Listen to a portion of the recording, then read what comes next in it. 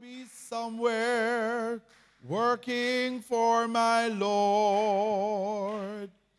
I'll be somewhere working, somewhere working, somewhere working for my Lord. I'll be somewhere working, somewhere working, somewhere working for my Lord. When he calls me, I will answer. When he calls me, I will answer. When he calls me, I will answer. I'll be somewhere working for my Lord. I'll be somewhere working, somewhere working, somewhere working for my Lord. I'll be somewhere working, somewhere working, somewhere working for my Lord. I will be somewhere working, somewhere working, somewhere working for, my Lord. I'll be somewhere working, somewhere working, somewhere my Lord. Praise the name of the Lord Jesus. I'm going to be inviting us to turn our Bibles to St. John chapter 14. I'm going to be reading from verse 15 to verse 26. St. John chapter 14, and we're reading from verse 15 to verse 26. Praise God.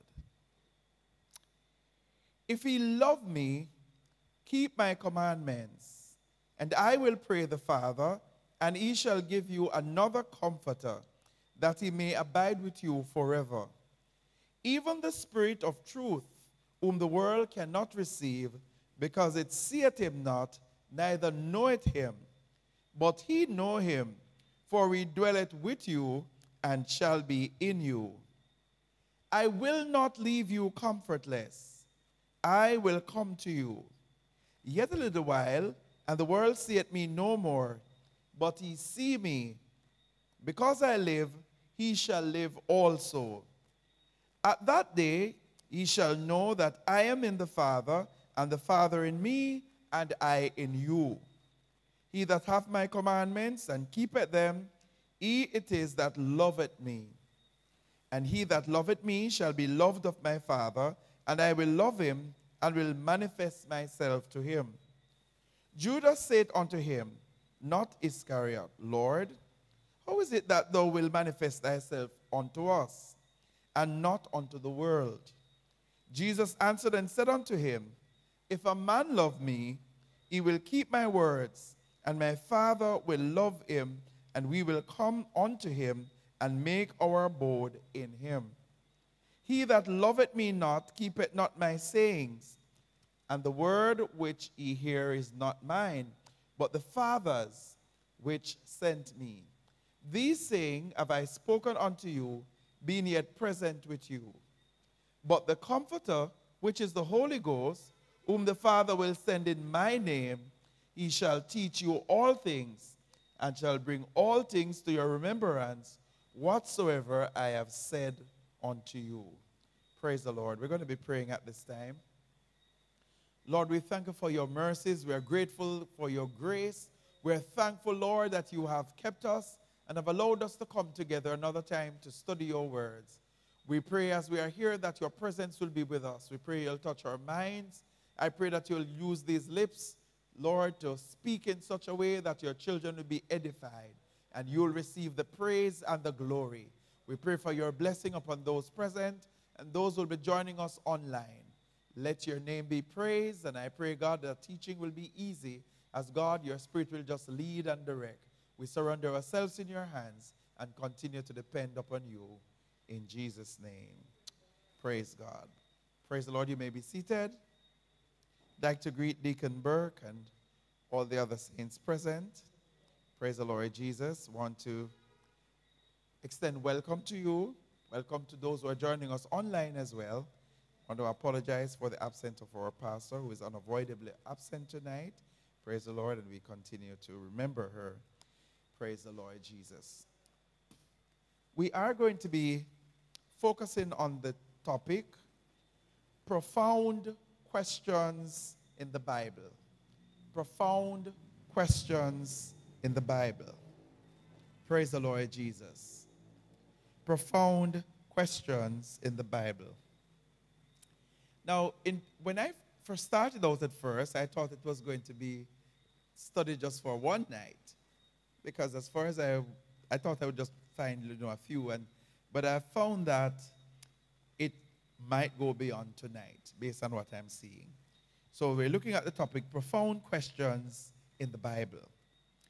The first question we're going to look at, we're going to spend some time looking at, is what is truth? What is truth? Now, this question was asked by Pilate. Pilate was the one who said, What is truth? Praise the Lord Jesus. And it's an easy question to ask, very easy question to ask. But uh, when you look at it, you actually need to know what is truth. Praise the Lord Jesus. What is truth? Now we're going to be reading the account as found in St. John 18. So we're going to be turning our Bibles to St. John chapter 18. St. John chapter 18, and we're going to be reading from verse 37 to verse 38. St. John 18, from verse 37 to verse 38. Scripture says, Pilate therefore said unto him, Art thou king? Art thou a king then? Jesus answered, Thou sayest that I am a king. To this end was I born, and for this cause came I into the world, that I should bear witness unto the bear witness unto the truth. Everyone that is of the truth heareth my voice. Pilate said unto him, What is truth?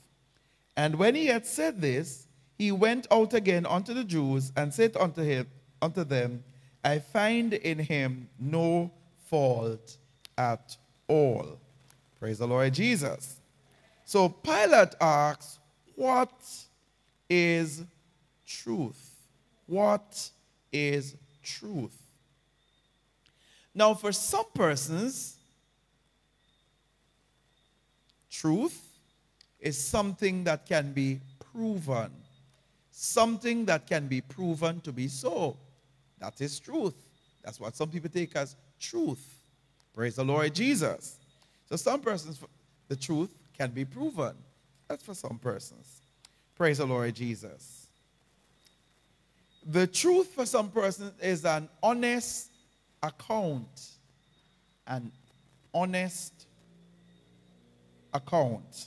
Praise the Lord Jesus. Oh, bless the Lord. But we're talking about truth as it relates to the Lord. We're going to see as it unfolds. It might be different. So we're, not, we're going to let it unfold. So, so Pilate heard Jesus speaking of truth. Jesus was the one who mentioned truth. And Pilate asked, What is truth? Pilate was not asking what is truth because he really wanted to find out. He was asking because Jesus spoke of truth. He was asking to suggest, you know, that what Jesus was calling truth was not necessarily truth. It wasn't an inquiry. He didn't wait for an answer. Pilate asked a question, but never waited for an answer. Pilate said it to justify himself. What did Pilate do? After he asked the question, he went out to the crowd and declared that Jesus was innocent. And then what did he do? He, and the same man that he said was innocent, he handed him over for them to crucify him. Praise the Lord Jesus. Now, Pilate, to Pilate, he seemed to take the truth as being relative. So, based on situation, it could be truth or it was conditional. So, he wasn't really valuing what he was saying in that way that we would have expected. Praise the Lord Jesus. And his actions are what told us that because he just recognized in talking to Jesus that he was innocent. He went and shared it that Jesus was innocent, but he never acted like the actions were not consistent. If he was innocent, he handed Jesus over to be crucified. What is truth? Praise the Lord Jesus. So we don't want truth to be relative, we want truth to stand up as truth. Praise the Lord Jesus. Amen. It was a dangerous thing that he did. Asking the question, what is truth? You expected him to find out what was the truth. He should have really sought the truth rather than just asking the question and dismissing it. Now, people today need to know the truth. Oh, praise the Lord. We need to know what is truth. Now, if we don't know what is truth, we'll embrace a lie and call it truth. So we have got to be very careful when it comes to talking about truth. Now, there are some persons who will tell you, I have the truth. And you wonder, why is it you're declaring you have the truth? If you have the truth, persons will know. But many times they are doing that to, so it's, it appeals to the psyche. In their minds, they become comfortable that they have the truth, but they're not really, they're not totally convinced. Praise the name of the Lord Jesus. Not totally convinced at all. But there is a truth as it pertains to Jesus. Now look at Jesus' answer in the latter part of verse 37 of St. John 18. So Jesus is speaking. He said, Thou sayest, I am a king. To this end was I born, and for this cause came I into the world, that I should bear witness unto the truth. Jesus says he came to what? Bear witness unto the truth. Everyone of everyone that is of the truth heareth my voice. Everyone that is of the truth heareth my voice. How is Jesus speaking to us today? Everyone that is of the truth, hear it, my voice. How is he speaking? He's speaking through the word. He's, speak, speaking through preaching. He's speaking through teaching. Even in songs. There's some persons, the lyrics of the song and the rhythm is what reached them. It was appealing they spent enough time listening until the words started to impact their hearts, not necessarily preaching. And that is why it is so important that when we're listening to songs, we listen to the lyrics. If the lyrical content is not sound, it doesn't matter how the, the quality of the music, be careful. Because sometimes, you know, because music tend to cause persons to respond without sometimes they even realize that they're tapping their feet or rocking. You might just be dancing to something and giving glory to the devil. So we ought to be careful. Everyone that is of the truth, hear at my voice. So the, when the Lord speak, you will hear and you'll respond. Praise the Lord Jesus. Now in St. John 8, verse 32, let's go over to St. John 8, verse 32. So we're looking at what is truth. St. John 8, and we're going to verse 32. It says, yes, and he, sh- ready? Let's go. And he shall know the truth, and the truth shall make you free. The truth liberates. It therefore means that if persons don't know the truth, they are bound. Now, I don't want to be bound by religion. Religion should liberate me from the captive hold of sin. Praise the Lord Jesus. I want to know Jesus until I love him so much that I don't want to go away from him. I don't want to be bound by religion. Empty religion cannot save, it is Jesus that saves. So I want to have a connection with the Lord. I want to establish my relationship. I want to maintain my relationship so that when He speak, I will respond. I need to know Jesus to know the truth. Praise the Lord Jesus. So it's important that we know Him. Praise the Lord. So, and He shall know the truth, and the truth shall make you free. We need to know what is the truth. Praise the Lord Jesus. Now, in Deuteronomy 6, verse 4, listen to truth. Hear, O Israel, the Lord our God is one. The Lord our God is one. Way back there in the Old Testament, the Lord our God is one. Who was their God? Jehovah. So while there were persons who were worshiping a multiplicity or worshiping many gods, the Jews knew one God. They were worshiping one God. There was no mention of any Trinity or any Father, Son, Holy. They knew one God. They knew one God. They knew one God. So, hear, O Israel, the Lord our God is one God. Praise the Lord. Now, you will see how that is liberating in a short while.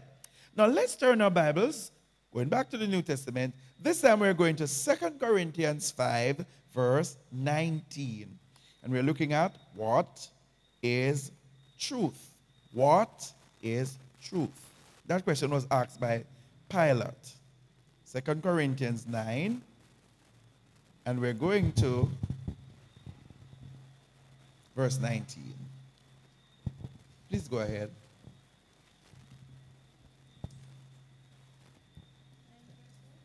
Second Corinthians 5, we're reading the 19th verse. To wit, that God was in Christ, reconciling the world unto himself, not imputing their trespasses unto them, and had committed unto us the word of reconciliation. So, to wit means to know. What do we need to know? God was in Christ.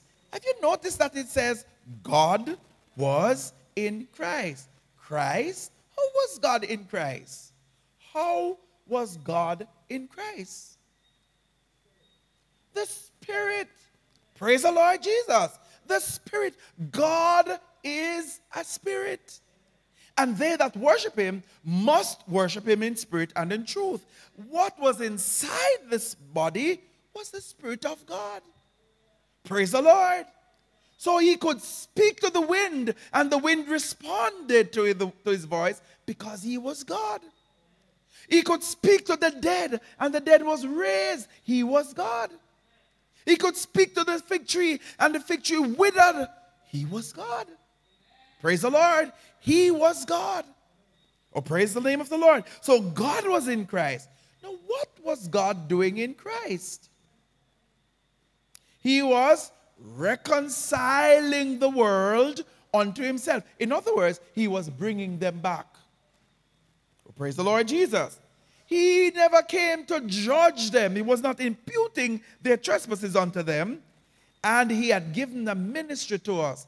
All of us are a part of this ministry of reconciliation, bringing those persons who are out there to the Lord.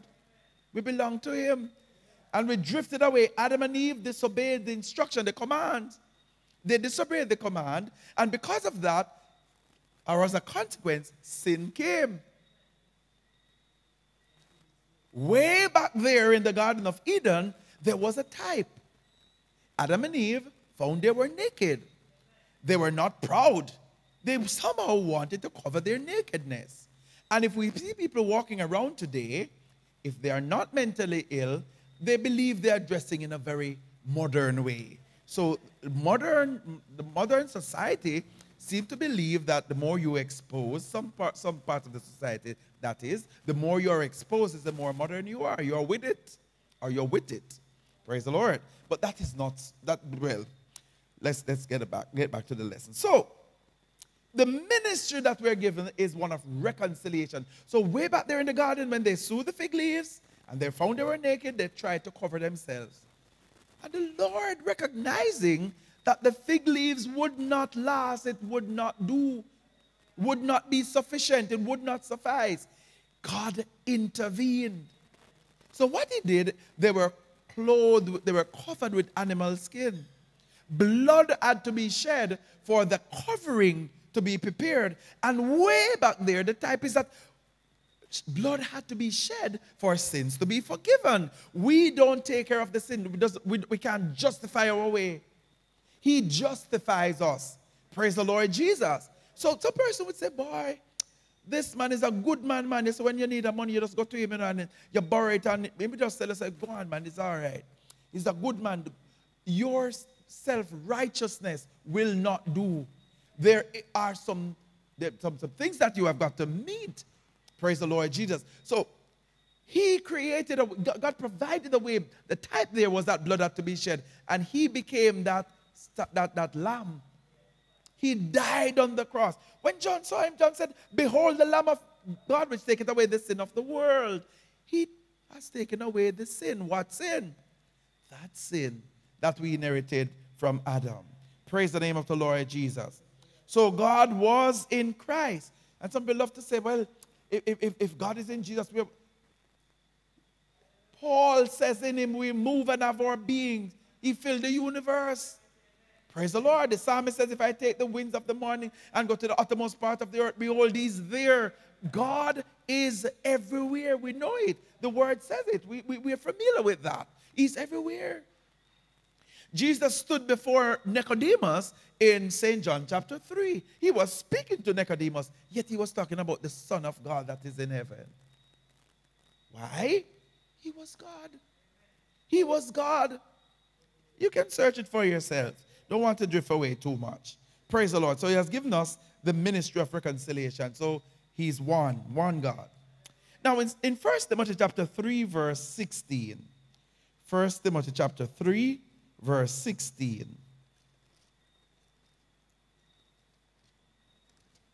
The word says, and without controversy, great is the mystery of godliness.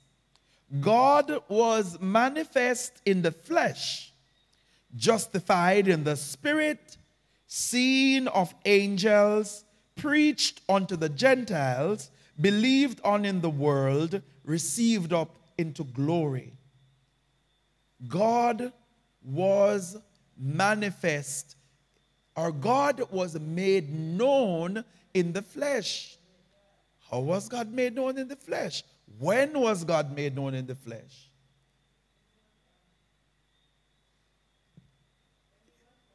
When he was born, yes. Of course. Yes. Mary asked the angel, the angel was saying, Hail Mary, thou art highly favored, and started to tell Mary that she was going to have the, this, this baby. Mary said, How can this be, seeing that I don't know any man? I don't know any man. I'm not having any relationship to be able to produce a child. It's a good question she asked. Yes, Mary was aware that it requires a man and a woman for a baby to be formed. And so Mary asked, How? She was told that the power, that power from an eye, would overshadow her. Praise the Lord Jesus. Amen. Amen. Amen. Amen. So he wasn't born of the will of man or the will of flesh. All right? It was God who had done that. Praise the Lord Jesus. Now, so he was made known in flesh. Now, if you ask little children, why did Jesus come? They would give an, an answer, a very appropriate answer. Most children are able to tell you that he came to do what? He came to save us, yes, but how did he save us? He died in our stead. We should have died. And he died in our stead. His death, burial, and resurrection is what gives us hope. And the hope is described as a lively hope. We know we will live again. He has come to give us life. The Bible says the thief he cometh but for to steal, to kill, and to destroy. But I am come that he might have life and have it more abundantly. God came. How did he come? He came as a babe.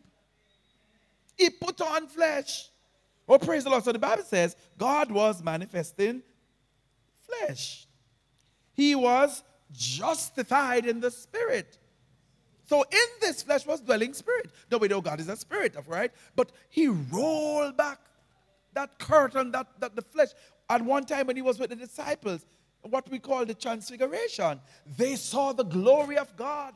And they saw the, the, the prophets there. So he, he, he demonstrated all of that. Praise the Lord. He was seen of angels, preached unto the Gentiles. He went about preaching, and uh, as he taught, many believed. They were believed in the world. And it concluded by saying, received up to glory. In the latter part of, of, of when we read Acts chapter 1, we read of the ascension. The disciples were there and they, they, they, were looking up. So the men who were in white apparel said, Why stand ye gazing up into heaven? This same Jesus is going to come again in like manner. He's coming again. Who? Jesus came on the face of the earth. He went up and he's coming again. So God came among us. God came among us. We'll talk about that some more later. He came among us. Praise the Lord. So, in Isaiah 43, verse 11, Isaiah 43, verse 11, still talking about truth, right? Isaiah 43, verse 11, the scripture says, I, even I, am the Lord, and beside me there is no Savior. Look at it again. I, even I, am the Lord, and beside me there is no Savior. Now, this was in the book of Isaiah. This was in reference to God. So, He is our Savior, not another. He's our Savior. It is therefore not surprising, since we read about it, the prophet had made this utterance, that He is our Savior. When we go to St. Matthew 1, verse 21, it is confirmed. So, Joseph was planning to put away Mary because Mary was found with child. And he knew it, he wasn't the father. So he decided he was going to put her away. He, he was very caring, though, because he decided he wasn't going to make a public show, he was going to do it privately. But the angel came to him and spoke to him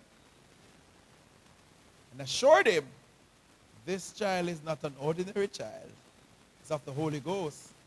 Stay with her, man. Don't put her away. Now, in verse 21, it says, And she shall bring forth a son, and thou shalt call his name Jesus, for he shall save his people from their sins. Now, isn't that interesting? We're speaking about a baby. A baby. Yet the angel is saying, his people? So the people belong to him already? How is that? Because God put on flesh. Now, if we go down to verse 21, we see that it was a fulfillment of the prophecy. And he shall call his name Emmanuel, which is being interpreted God with us. So God came among us. Why? For the redemption of our souls so that we might have salvation. He purchased our salvation with his own blood. That is truth. So the question is, what is truth? That is truth. That there is one God. Oh, the text, it was taken from St. Matthew 1, verse 21. St. Matthew 1, verse 21. So the Savior is Jesus.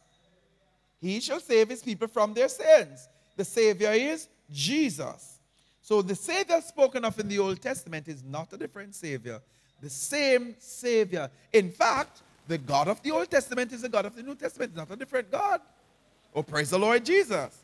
Despite the fact that it's a different dispensation. So the big topic we're looking at, the big topic is profound questions in the Bible. Profound questions in the Bible.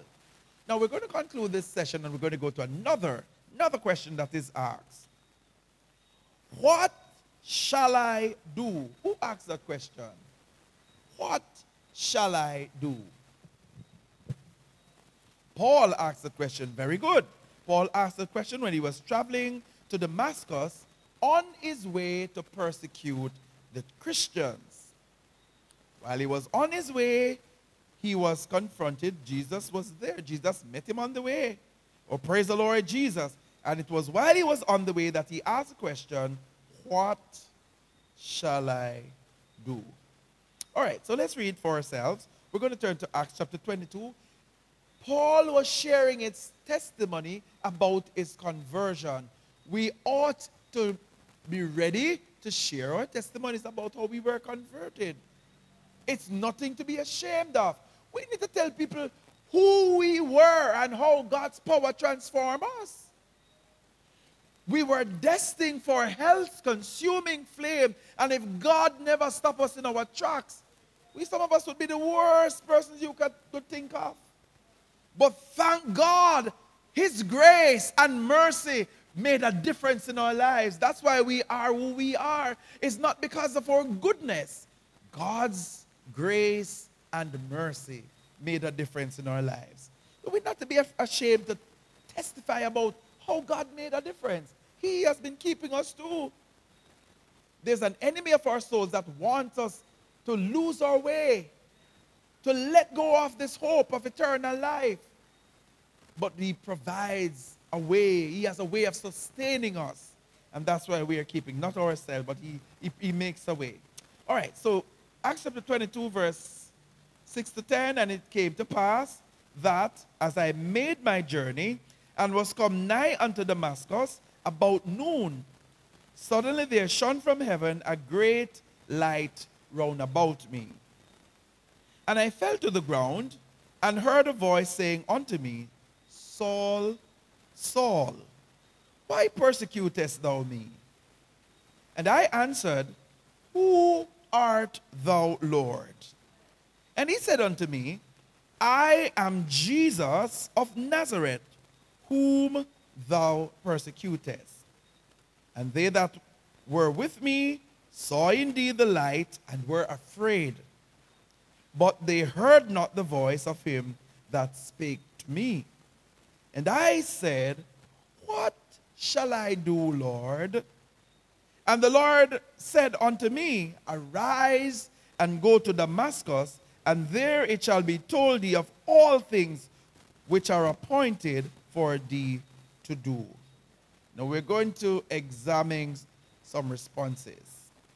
Now, Paul didn't ask, What will you do, Lord? He never said, Lord, what are you going to do now? He didn't say that. All right? So, he looked at himself and he said, hmm? What shall I do? Right away, he was ready to serve the Lord. Now, I want us to bear in mind, for those of us who are familiar with Paul, Paul was highly religious. He sat at the feet of Gamaliel and he learned the law. He knew it. He learned from the best. Yes, you're correct. He knew the law. But the dispensation of the law had come to an end. Jesus' death brought, ushered in a new dispensation. It was now the dispensation of grace. Or some persons call it the dispensation of the church. Paul was zealous. He had a drive. He had a passion for the things of Christ.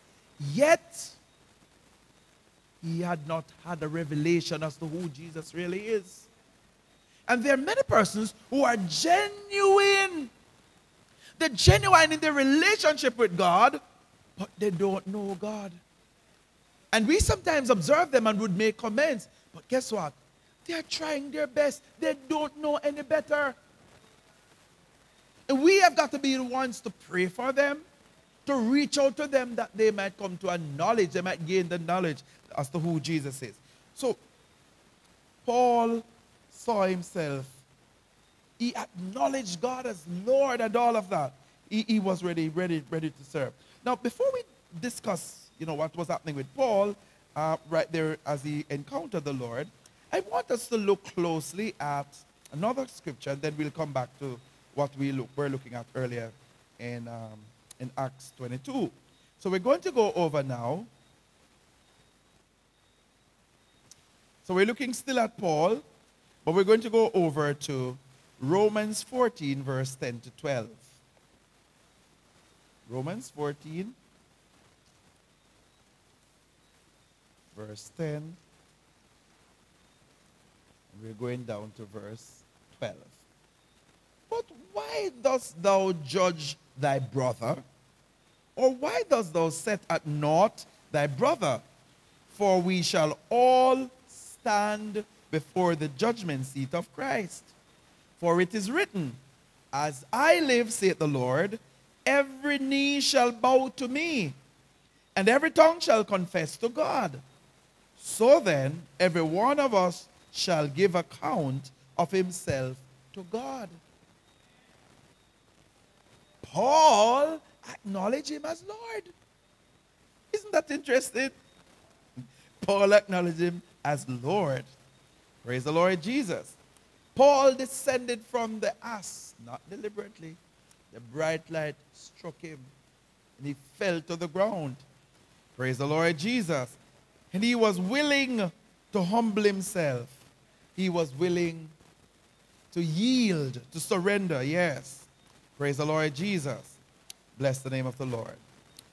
Now, we have got to learn to dedicate ourselves to Christ. Now, what do we mean by dedicating ourselves to Christ? In everything that we do, we're giving God glory. So at work, we are the best worker. While some persons will look for the shortcut, want to leave early when they can leave early, slip through the door, and so on. As Christians, we don't do that. No. They must say, if one person not leaving is this brother, because this person a Christian, him not do them things, man. No, not him. So we've got to be, you know, really dedicated, not just seasonally, but consistently. Praise the Lord. We have got to make some sacrifice if we're going to be serving God. Got to be willing to let go of something and to embrace other things. Praise the Lord Jesus. We're still talking about Paul, you know, but we'll get back to him, right? Now we're going to St. Luke 9, verse 62. St. Luke 9, verse 62. Now, did I say St. Luke? Yes. St. Luke 9, verse 62. Found it? And Jesus said unto him, No man having put his hand to the plow and looking back is fit for the kingdom of God. Praise the Lord. So if we start to serve God, let's keep going. Don't go back. Now, we have a popular song, Not Going Back to the Things I Used to Do and all of that. And we have some others, I'll never look back. No, never look back and all of that. The scripture says, Remember Lot's wife. It's there for a reason. People can turn back. But when you're serving God, you should have no intention of turning back. No wonder the songwriter pens the song. I am determined to hold on to the end. So we've got to keep going forward, not looking back, not looking back. So when you put your hand to the plow, when you're going to work, you keep working, keep working, keep working, keep going, keep going. Don't turn back. For us, the Lord expects of us a consistent personal commitment with Him. Not On the day that you might assemble to worship, a special day, you are committed for that entire day. Every day of the week.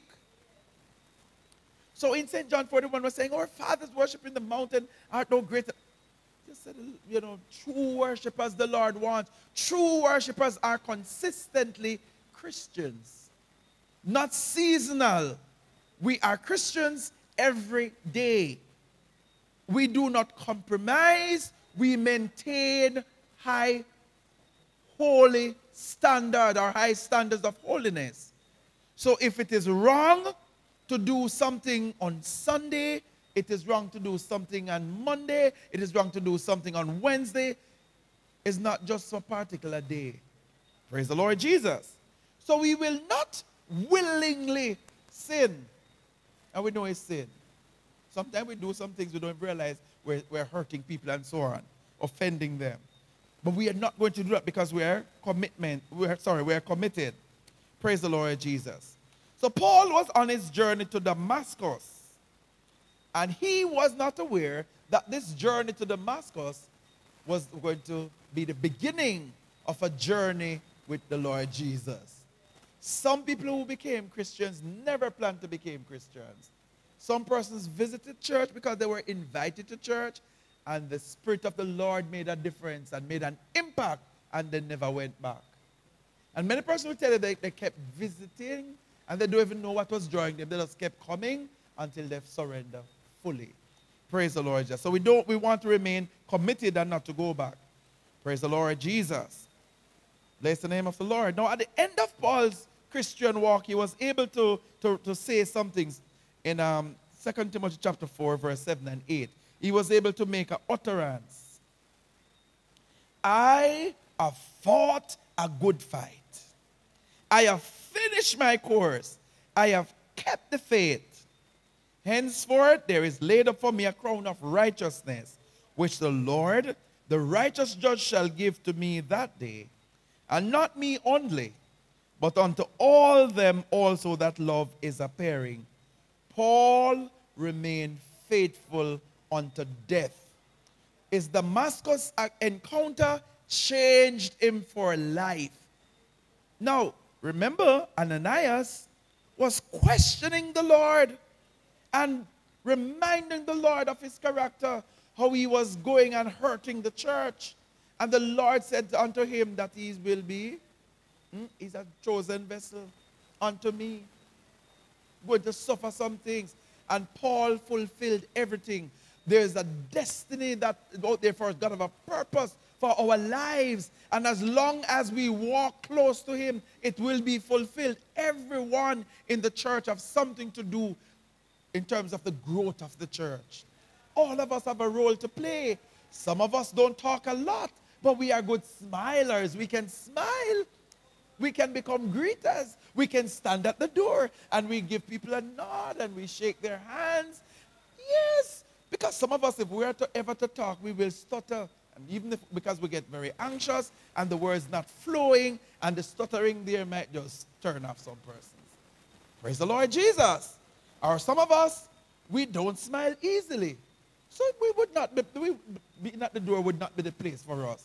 All right. Bless the Lord Jesus. Some of us were able to articulate well, we're able to pronounce the word and to enunciate or whatever. We're able to speak in a way that persons readily understand. So we would be good at reading the announcements. It's very important that when announcements are being read, persons are able to understand so that they'll remember. But if you're up there and they're wondering what you're saying, what is he saying? Hmm? Oh, praise the Lord Jesus. So all of us have got a purpose in the church. Praise the Lord Jesus. Paul stopped what he was doing. What was Paul going to Damascus to do? Put away those people who were talking about Jesus. He saw them as heretics. He believed their doctrine was strange. They were not embracing what he was standing up for. So he wanted to put them away. He stopped. And brethren, when we come to the Lord, we need to stop doing some things we used to do. Somebody saying it's a great change since I was born. There must be a difference. We can't be playing church. Well, let me rephrase. We should not be a part of the church today, and tomorrow we're not a part of the church. We need to be consistent in our walk. We need to be obedient. Paul was obedient. Praise the Lord. So we need to be obedient. We need to be obedient. Praise the Lord Jesus. So he stopped doing what he was what he was engaged in. And guess what? He found out what he should do. What was Paul told? Let's see. So Jesus did not say to Paul, You have been a Pharisee too long. Oh, he didn't say that at all. Didn't tell him that he was a Pharisee too long or anything like that. He told him what he needed to do. Praise the Lord. So he wanted to know what to do, and the Lord told him that he should. So let's verse 10 of Acts 22. And I said, What shall I do, Lord? Let's look at the Lord's response. And the Lord said unto me, Arise and go into Damascus, and there it shall be told thee of all things which are appointed for thee to do. Arise and go to Damascus. No. Paul went. Hmm? No, Paul never just started to be engaged in the work of the Lord just like that, you know. He spent some time in the Arabian desert. He had revelation as to who the Lord was. And then he started to work. God know how to fix us up. He will empower us. He will cause us to learn enough about him that we are able to stand up to the testings and the trials. Praise the Lord Jesus. Amen. Now, another instruction Paul received and he obeyed in verse 16 of Acts 22. And now, why tarriest thou? And I said, What are you waiting for, Paul? Hmm? Arise and be baptized and wash away thy sins, calling on the name of the Lord. How was Paul baptized? Was Paul religious? I would like for us to answer these questions. Was Paul a religious man? Are we sure he was religious? What religion Paul said he was embracing? That of his fathers. Yes, he did. The scripture said that. He was embracing that of his fathers. But he found something different. Have we noticed that? He was religious. He was a Pharisee of the Pharisee. He, in other words, he knew the law inside out. He knew the customs. He knew what was expected. He was rising to be a great leader. But his encounter with Jesus transformed all of that. He, he was now changed. Praise the Lord Jesus. He was now changed. He was so humble where he went about with an aggression to get at the people of God. He was saying, Lord, what will thou have me to do? That's a big change. That's a big change. And what did Paul do? He was baptized. He confessed Jesus. Hmm? Now remember, as far as Paul was concerned, these people were preaching and teaching Jesus. he was, they were the ones who he was attacking, remember? They were being put into prisons and all of that. He went to Damascus to carry them back bound to deal with them. He wasn't to take them to a feast. Praise the Lord. But Jesus made the difference. Praise the Lord Jesus. Jesus made the difference. Praise the Lord Jesus. In Philippians 2, verse 10, with that name is powerful. I am Jesus. That's how the answer came. I am Jesus. Oh, bless the Lord Jesus. And did Paul bow to the name? Yes, he fell from the ass or whatever BC was on. He fell. Praise the Lord. Now we're going to look about reconciliation and loyalty. Now, Paul was working against the Lord. The Lord said, It is hard for thee to kick against the pricks. Paul, you're hurting yourself by fighting against the church. Hello? There are some persons who will come against the church and they don't even realize they're coming against the church. So they'll say things that are sometimes bordering being blaspheming or blasphemous. You don't want to blaspheme the church, blaspheme the name of the Lord. So be careful what you say about the church. It is God's church. Jesus purchased the church with his own blood. So who are you to speak against the church? Be careful, lest he judge you. It's a terrible thing to fall in the hand of God. So humble yourself. If you don't have anything to say, say, Lord, have mercy. Turn it over to him. Don't say anything that you shouldn't say. Praise the Lord Jesus. Amen. Paul was willing to give of his best, to give everything. He was going against the Lord by going against his church, but when the Lord touched him, reconciliation took place. Now, Paul wrote, I am not sure if, yes, Second Corinthians 5, verse 19 to 20. Look at what he wrote. Some people say some things that we don't understand in the scripture, but the scriptures are here to talk to us. So it says, to wit, that God was in Christ, reconciling the world unto himself, and so on. And we had, well, let me read. To wit, that God was in Christ, reconciling the world unto himself, not imputing their trespasses unto them, and had committed unto us the word of reconciliation.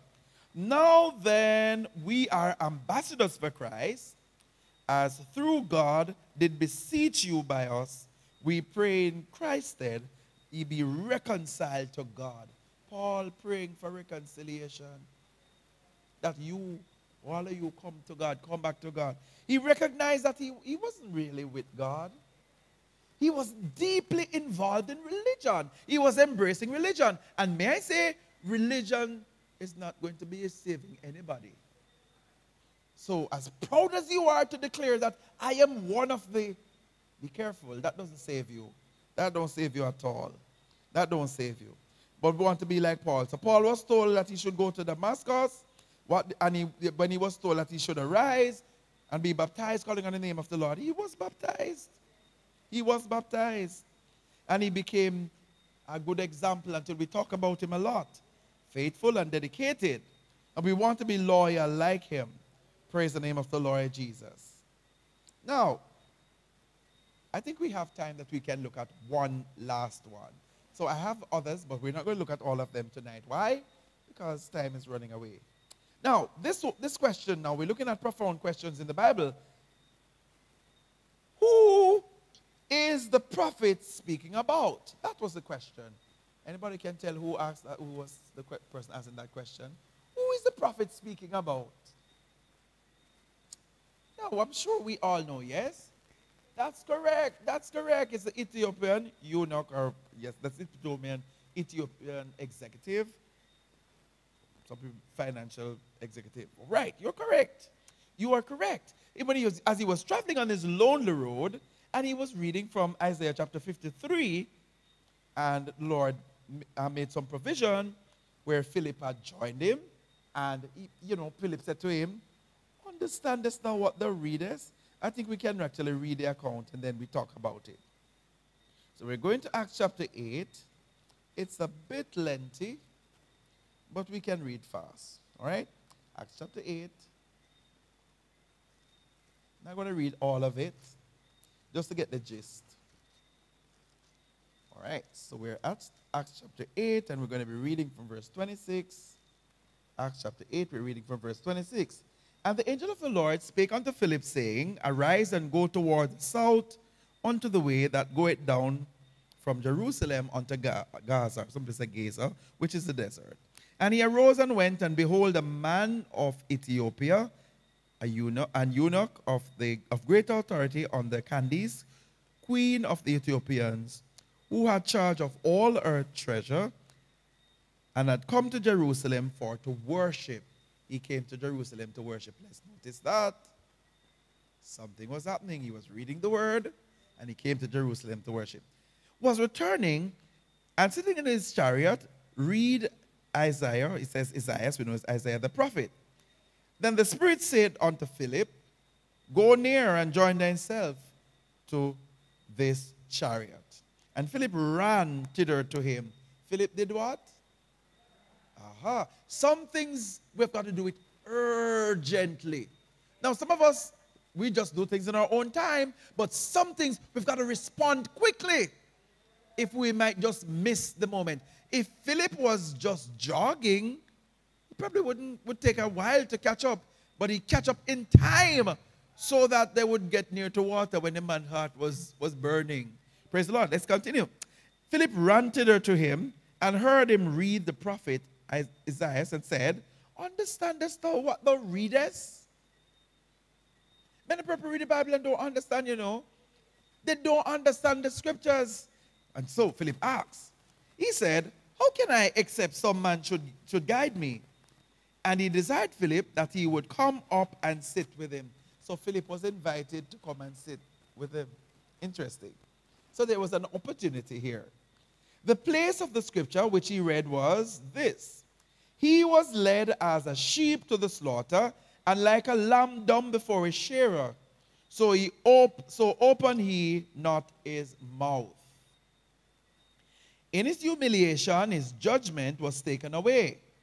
And who shall declare his generation? For his life is taken from the earth. And the eunuch answered Philip and said, I pray thee, of whom speaketh the prophet this?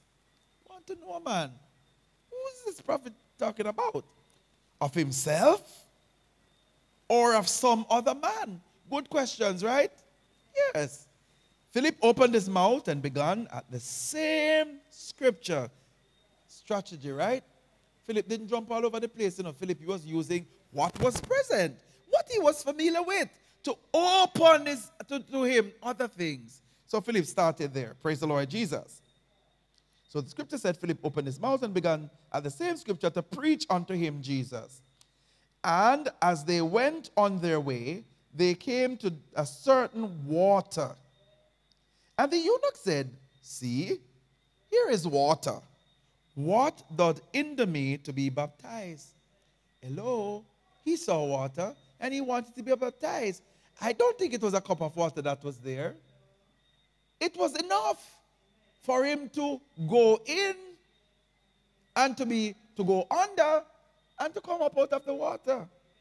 Praise the Lord. After all, when we look closely at the word baptism, it means to bury or to plunge or, or to immerse. And Philip said, If thou believest with all thine heart, thou mayest. So he had to believe the scripture, he had to believe that about what he was hearing about, about Jesus and all of that. And he answered and said, I believe that Jesus is the Son of God. Wow, I think he was really convicted. And he commanded the chariot to stand still, and they went down, notice, went down both into the water, not Philip going to catch some water and to come and baptize him by sprinkling or to pour some on his head. They went down. The scripture says it clearly. They went down both Philip and the eunuch, and he was and he baptized him. And when they were come up out of the water, the Spirit of the Lord caught away Philip, that the eunuch saw him no more. But look at this. And he went on his way rejoicing Something happened that caused him to be so happy. He was rejoicing. But Philip was found at Azotus, and passing through, he preached in all the cities till he came to Caesarea. To Caesarea. Praise the Lord Jesus. So the Lord did minister to him. So the question that was asked, do you understand what you're reading? Hmm?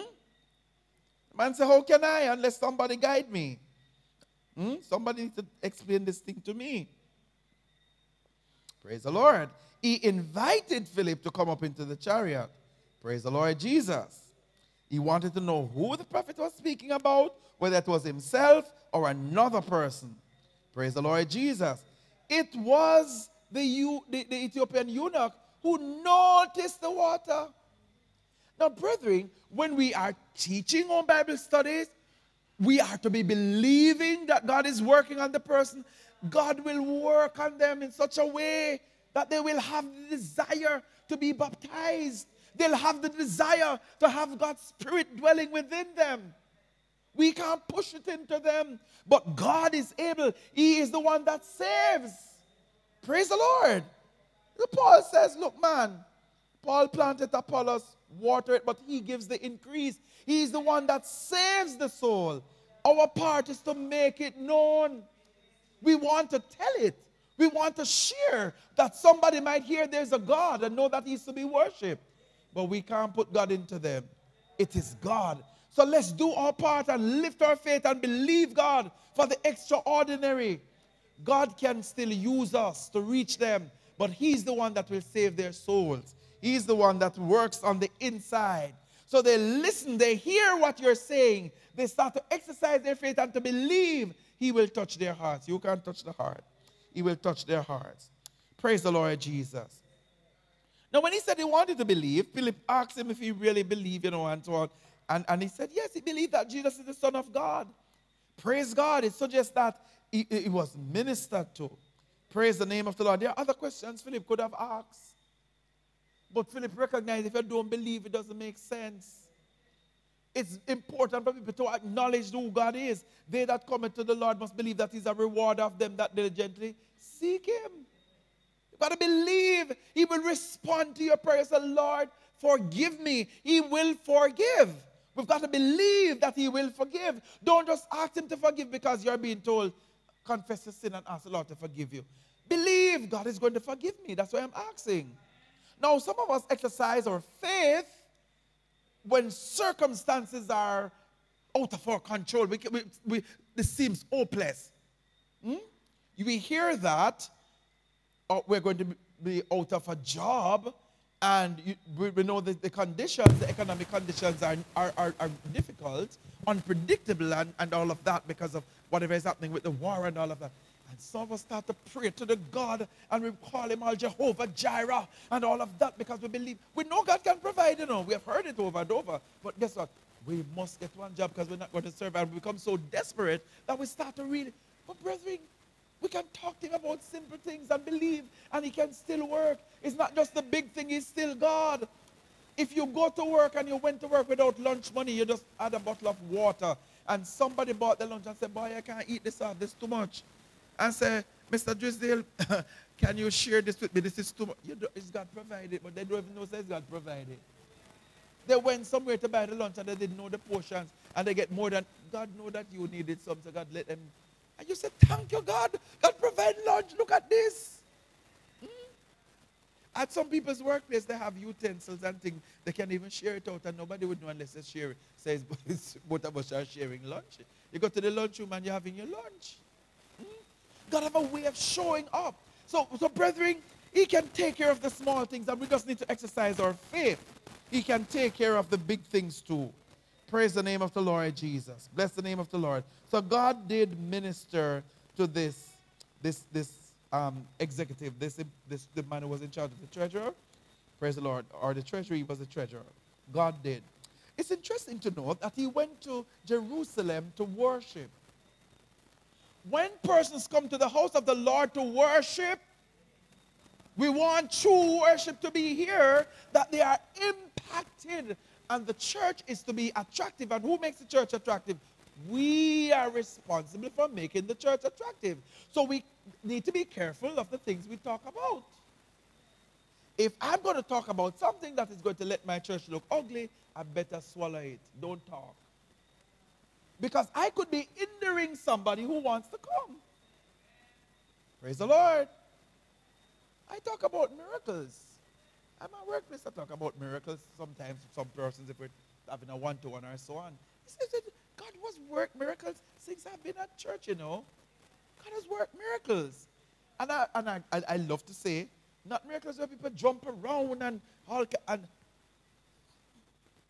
and all sorts of things pray. People pray.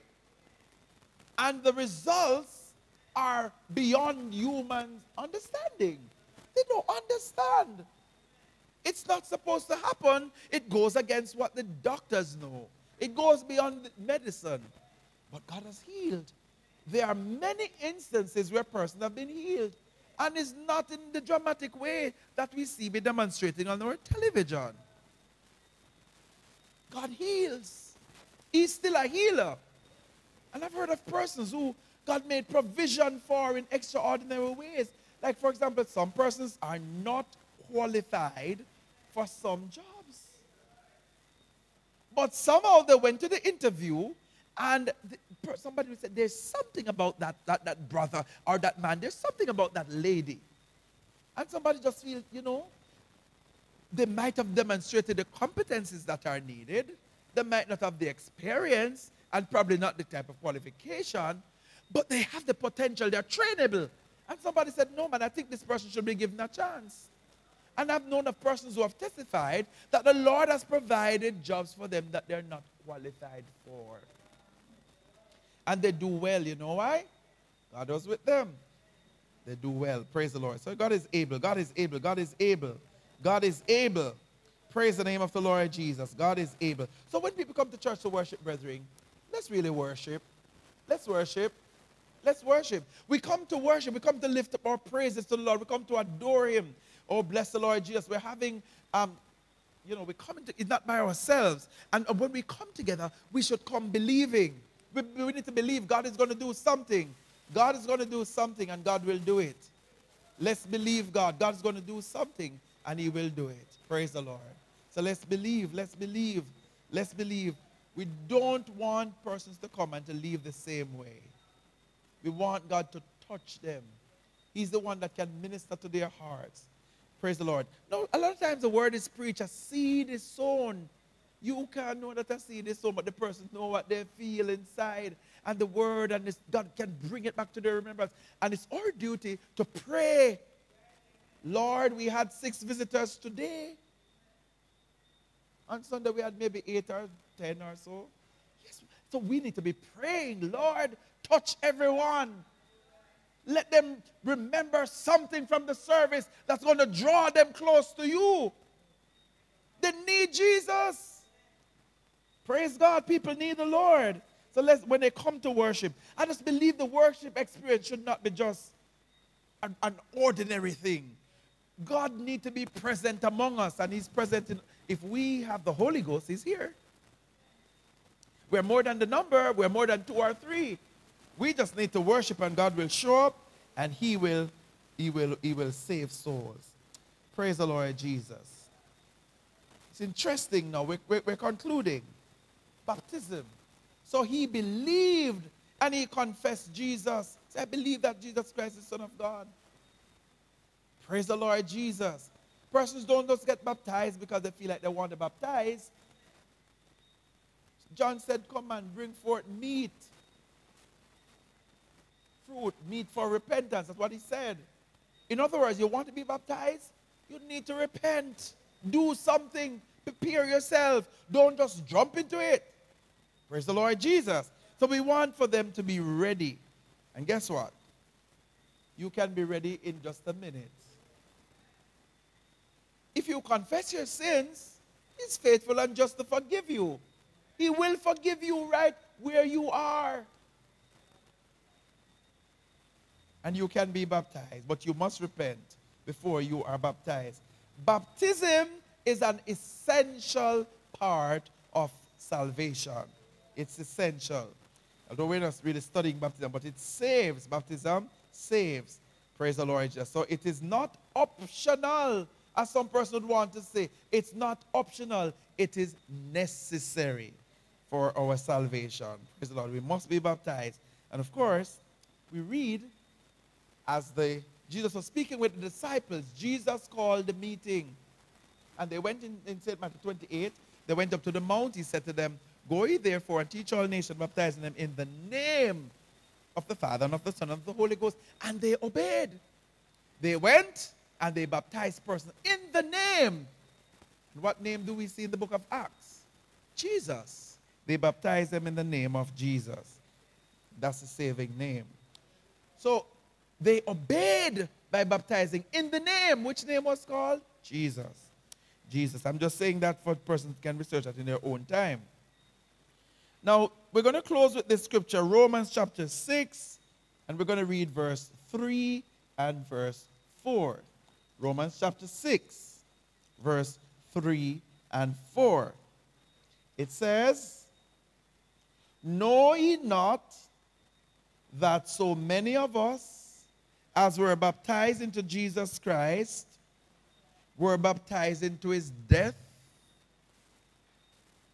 Therefore, we are buried with him by baptism into death, that like as Christ was raised up from the dead by the glory of the Father, even so we also should walk in the newness of life.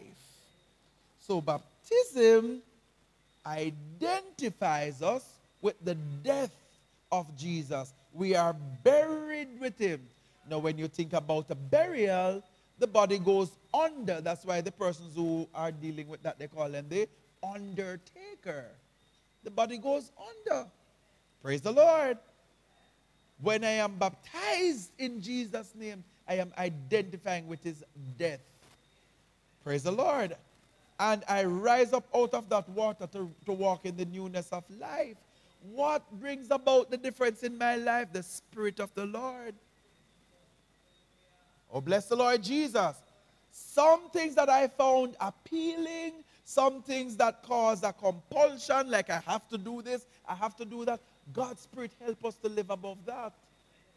Praise the Lord. No wonder Paul says, It's no longer I that live, but Christ that dwelleth in me. I have strength not because I, of myself, but the God in me helps me. Praise the Lord. I don't forgive people because I love to forgive people. Sometimes they really set out to hurt me and I'm hurt. But the Bible says if you don't forgive your brother, neither will your heavenly Father forgive you. So I've got to dig deep. That means I've got to go beyond the ordinary because I can't keep bitterness in my heart. It's not going to cause me to grow, it's going to be a hindrance. I'm bitter. I'm not going to feel His presence. I'm not going to touch God. My prayers are going to be hindered. Praise the Lord Jesus. Do you know that the Bible speak about husbands taking care of their wives, and if the husband do certain things, the prayer will be hindered? Yes. Prayers can be hindered because your heart not right. So can you imagine? I have done my wife wrong and I'm praying like what I'm even shouting loud, God and God and Lord. And my prayer not going anywhere, just sound like a shout disturbing people. Hmm? Because I'm not sincere, I'm not genuine, I need to fix up heart not right. We can't afford to come to church, brethren, just for coming to church sake. We don't want to say hallelujah because it is fashionable. It's, no. When I say hallelujah, I am praising God. I'm giving myself, I say, Lord, I give my being to you. I'm doing it on purpose and I should mean it. Praise the Lord. When we are praising God, brethren, and we really praise God from the depths of our heart, something happens. I've heard of many children who are playing and God's presence show up. And, and it is man, the manifestation is there. Sometimes the tears start to flow. They don't know why they're crying and all of that. Because guess what? They are very sincere in their play. So even though they're playing, God is responding. God knows their heart. Praise the Lord. So we want to be sincere. We want to be sincere. If I start the other one, we might, I don't know. All right, so let me just wrap up. I'm wrapping up. Praise the Lord Jesus. We might be sincere. So I'm going to just recap what we have done tonight, and then you can ask some questions. So we're looking at profound questions in the Bible, and so far we have looked at three. Three so far. The first one we look at is what is truth? What is truth? That was asked by Pilate. And the truth is that there's one God, and it is through him that we're saved. As he came in the form of flesh and all of that. We talked about that, and then we went on to another question. Who, oh, what shall I do came next? Thank you very much. The next one, yes, what shall I do was the next one. What shall I do? And that was asked by Paul. Probably didn't ask it the way I have stated it here, what he wanted to do. Not what he needed to do to be saved in this, is that he was asking, you know, what God wanted him to do. Praise the Lord Jesus. And the latter one we asked was, what did we ask for the last one? Trying to find it. Who is the prophet speaking about? And he was speaking about Jesus, of course. So for next week, we're going to look at Lord, to whom shall we go? And then we will look at this one. Brethren, what shall we do? In other words, men and brethren, what shall we do? All right? And then we look at what is your life? What is your life? There are other things we can look at, but um, yes, there are other things. It's going to take us maybe beyond next week, because there are other things. But I, I just want us to have, have an idea. So some of us know those questions, so we can read around them. Now we're going to open up for questions. You're free to ask the questions. It doesn't have to necessarily pertain to the lesson that we have looked at. It can be something different. Any questions? Do you have any questions you'd like to ask? Praise the Lord. Praise the Lord Jesus. All right. Now, I want to just remind us that all of us are supposed to be inviting persons to church, and I want to commend those persons who had invited persons to church on Sunday. We had a, good number of visitors, and we'd like more persons to be coming. When you invite them to church, you pray about it and all of that. We believe in God that the word will be preached in such a way that their lives will be touched and they will not leave the same way that they have come. We want to pray that the worship, everything that God, it, you know, we will worship in such a way that God's presence will show up and so people will be ministered to. Now, we're going to be talking some more on Sunday. We need, we're going to be receiving some personal evangelism cards, and all of us are going to be involved in soul winning. So whether you talk a lot or you don't talk a lot, all of us are going to be reaching out to persons. We're going to target souls. We can do it under God. God can use us in ways that we don't even know that he can. And all we've got to do is to avail ourselves. So we're going to keep walk close to the Lord and we're going to believe God for the extraordinary. Praise the Lord. So we're going to target five persons at a time and we are believing God that at least one out of the five soul will be won to the Lord. All right? We're going to be closing in prayer. Oh, there's a question? Question? Okay. God is able to do all things. God is able. God is able. God is able. So we believe in God. We believe in God. Praise the Lord. Praise the Lord. Is it wrong to forgive someone but still remembering the wrongs that he or she has done? All right. So the question is is it wrong To to, for- forgive someone but still remember the, the things that they have done? All right. Now, a lot of persons will, I've, I've heard that said in a different way, like, I will forgive, but I'm not going to forget. Now, I don't think we should set out, the question says if it's wrong to forgive and, for, and- still remember. We should always seek to forgive and we should try to forget. Now, the Bible talk about the Lord casting our sins in this, uh, uh, this yeah, forgetfulness. So we don't want to be remembering. You know why? When you remember, it can cause emotion, it evoke emotions and cause anger and so on, especially if it wasn't resolved properly. So we want to forgive and forget. Now, as human, you will remember. It's not just going to just go away like that. But over time, you find it will go. But don't set out to hold on to it. Is it that you forget the incident or you forget the hurt that you felt? You try to move beyond the hurt. But you may still remember the you incident. might still remember what have happened, yes. But I don't want, you, we don't want to hold on to it so that bitterness is there. Praise the Lord. So somebody can do you wrong, and you, you might still remember, but because you forgive the person, if you even talk about it, you won't get emotional. If you talk about it, getting emotional, you might not know, but that is showing that you, do, you have not gotten over it. It's still hurting. So it's like, if we talk about a relationship, in relationships, every relationship, we will have conflicts at times. We don't always agree. And it doesn't mean because you have a conflict, it's something boisterous and loud, but you might not agree. So you might decide, I have been having chocolate tea for five mornings, I want something different. And your wife might say, This is what may have, and this may put panda if you don't want it or whatever. And it can cause the person to be offended and so on. You talk about it, say, you know, I didn't mean anything. I was just tired of having this thing, and so on. And of course, because we as men sometimes we are demanding, the wife forgive you. But if she ever say, ah, if, or if she's going to say, boy, me, you're going to make your own tea going forward because you, you make what you want because you're going to say whatever, whatever. And so we need to forgive. And when you forgive, you move beyond. And you can talk about it and say, you know, I was so surprised. You forgive, and you, when you talk about it, the emotions won't be there because you just let go of all of that. But because our memories are, we have good mem- memories, we're still sharp, still alert, you're going to remember, but it shouldn't be that you remember and you feel hurt. All right? So in relationship, things happen. But we've got to learn to forgive and to move beyond. For relationships to last, forgiveness have to be in it.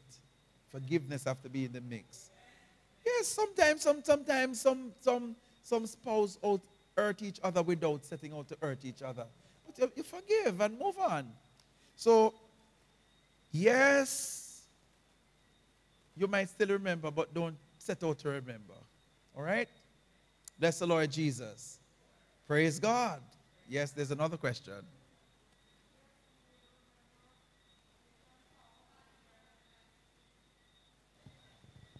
Praise God. Bless the Lord.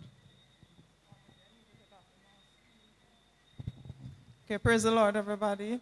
Yes, we will remember, but when you can really talk about it and have that peace on the inside, that is how you know that you really forgive the person. That's true. Thank you very much. Thank you for that. Yes, that's how you know you're forgiven the person. Because guess what? You, you, you the, the earth is not there. Praise the Lord Jesus. And brethren, in this life, we've got to learn to really live what we say or the scriptures, whatever we preach, we've got to live it. It's a real Christian walk that we are on, a real journey. And there will be obstacles. We're going to have cor- turns and corners and, and so on. But guess what? That's what caused the journey not to be boring, you know. Praise the Lord Jesus. And guess what? The victories are sweet. To know that you forgive this person and you know the, the magnitude of what the person has done, the victory is sweet, brethren. The victory is sweet. And guess what? It's better for you to let go than for the Holy Spirit to rebuke you. You know the Holy Spirit can rebuke you and nobody knowing you and feel bad in your little corner.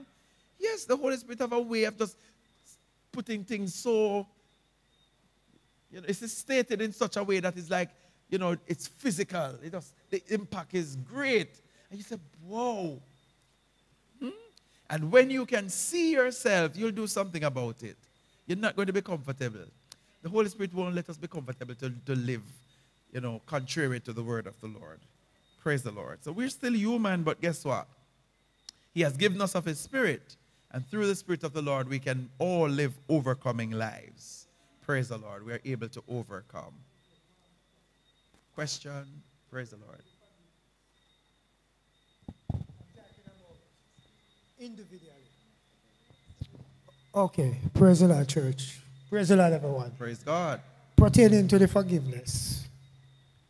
You know, sometimes you have done something wrong and you ask the Lord for forgiveness. How did you know the Lord forgive you? I know this is a tough one. So he's asking that sometimes you do something and you ask the Lord to forgive you. His question is, how do you know that the Lord has forgiven you? How do you know you have been forgiven? Well, we go to the Lord in faith, believing. And even if the Lord has not given you any sign at all that you are forgiven, you have got to claim it. You have got to claim it. Now, we must be mindful of the fact that the devil would want us to feel guilty, to be burdened, and whatever. But we, we claim it. And because you, you're walking by faith, you are going to walk as if it has happened and you believe. And guess what? A lot of times, God forgive us, but we are so hard on ourselves that we still feel, boy, yeah. So we ask the Lord to forgive us, brethren. He might not send somebody to come and tell you, you know, the Lord said to tell you that you are forgiven. He might not give you a dream or a vision, but you walk by faith, believing that He has forgiven you. Praise the Lord. Whatever you ask the Lord for, you, you believe that you receive it. Praise the Lord. We have to claim some things by faith. Not everything will go according to science, the logic, and you find, well, if this happens, that shall happen. No. But we walk, we're, we're walking by faith.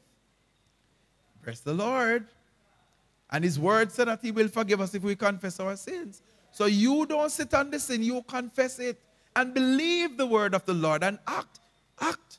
God has forgiven me. I'm going to move. I'm not staying here. Oh, bless the Lord. Amen. Enough time. Uh, well, there are a lot of times people mess up and we don't know. When I say mess up, you might stop reading your Bible and, and for a while until all sorts of thoughts crowd in your mind and you can't get them out. Guess what? Because you left you, you, you that space, you open up yourself to the adversary. But you go to God and say, Lord, I have neglected reading of your word and consecrated my life. Lord, forgive me. And you start to believe that the Lord forgive you. You decide, I'm going to read, I'm going to meditate. I'm, I'm moving on, I'm not staying here. Because you know something? Backsliding is gradual. You stop doing something until you don't even realize you don't miss it. You don't want to get to that place. So we ask God to forgive us and we're moving on, believing Him. Gonna, Praise God. Going to be inviting us to stand. We're going to be closing in prayer. Praise the Lord. I wanted, oh, there's another hand. Sorry about that. Didn't see you. Oh, it's a prayer request. Prayer request. Okay. Yes please go ahead. Yes. Or she's requesting prayer for a friend in the U.S. who was having what kind of problem? Kidney problems.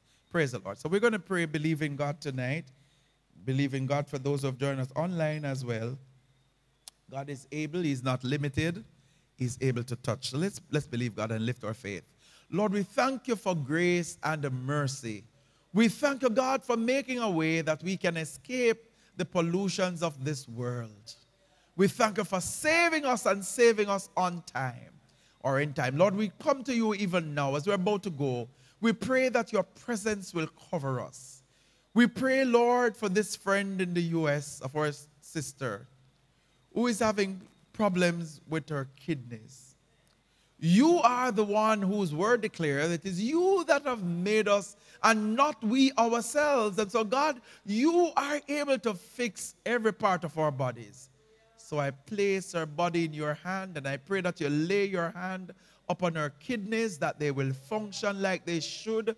Lord, you're able to reverse whatever is out of order. You're able to fix it, God, that it will flow, that it will filter the blood like it should, that it will excrete what needs to be excreted. And if there are stones there, God, you know how to shatter them, that they'll be passed out because you are almighty. Nothing is too hard for you. So we pray right now that you will intervene. And I pray for those tonight with a special request that God, you will minister to the needs of your children. We believe that you are able to do above what we can ask or think. And so, God, we come just presenting these requests to you. As we're about to go, Lord, let your presence cover us. Let your presence be with us and continue to sustain us, Lord, as we go through the remainder of this week.